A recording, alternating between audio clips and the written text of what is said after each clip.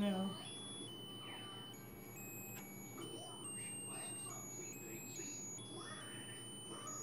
Does it tell you on the instructions that the candles will burn down? It just says cut the red wire if you don't want music on.